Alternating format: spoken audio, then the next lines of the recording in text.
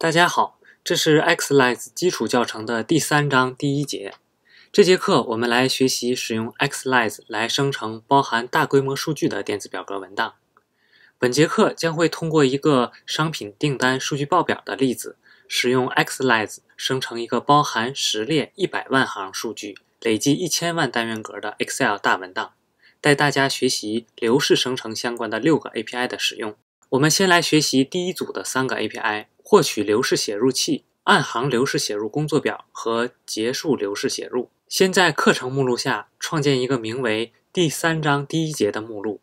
使用 VS Code 编辑器打开，新建一个 main.go 文件，声明包名称，导入 Format 标准库和 Xlise 基础库，创建 main 函数，通过 Xlise 提供的 New File 方法新建一个工作簿。然后使用 save as 将工作簿保存为 book1.xlsx，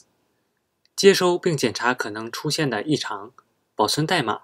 打开终端，在终端中运行 go mode init 初始化模块，运行 go mode tidy 安装包依赖。下面我们来学习如何获取流式写入器，通过 new stream writer 函数传入工作表名称。即可获得对应工作表的流式写入器，得到 Stream Writer 接收并检查可能产生的错误。接着，我们调用 Stream Writer 对象上的 setRow 方法，将第一行数据流式写入工作表。第一个参数是起始单元格坐标，第二个参数是要写入的数据，它是一个 interface 类型的数组。我们设置 A1 单元格的值为商品订单数据报表，接收并检查 error。在数据写入完毕后，调用 Flash API 结束流式写入，接收并检查可能产生的错误，保存代码并运行程序。使用 Excel 打开生成的文档，可以看到单元格的值已经设置好了。下面我们学习本节课的第二组的三个 API：流式合并单元格、流式创建表格与流式设置列宽度。调用 Stream Writer 对象上的 Merge Cell 方法进行合并单元格，将 A1 到 J1 区域合并，接收并检查错误，保存代码并运行程序。打开生成的文档，可以看到合并单元格已经设置好了。接下来我们学习流式设置单元格样式。首先通过 New Style API 创建一个样式，声明样式为水平和垂直方向居中对齐。填充颜色为浅蓝色，纯色填充，得到 Style ID，接收并检查可能出现的 error，然后在按行写入工作表时绑定写入单元格的样式 Style ID。此外，还可以在 setRow 函数的第三个可选参数 Row Options 中指定 Height 和 Hidden 属性，来设置行高度以及是否隐藏该行。保存并运行程序，可以看到。样式与行高已经设置好了。下面我们定义 header 变量，为工作表的第二行设置数据，作为前十列数据表头，分别为订单号、商家 ID、买家 ID、商品 ID、商品单价、交易件数、物流公司 ID、运单编号、运单状态码和签收状态码。同样调用 Stream Writer 上的 setRow 函数。指定写入起始坐标为 A2，然后将第二行数据流式写入到工作表中，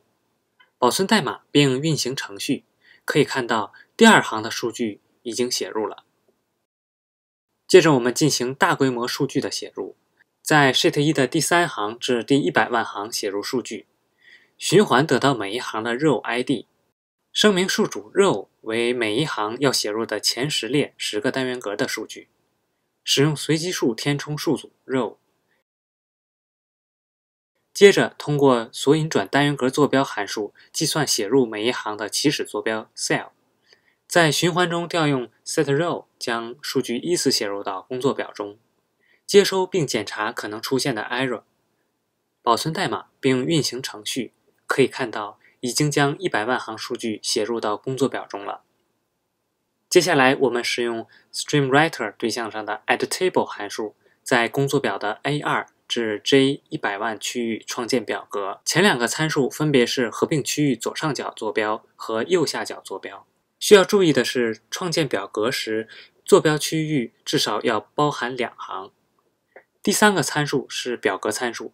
这里我们设置表格名称、样式，开启第一列和最后一列，关闭镶边行，开启镶边列，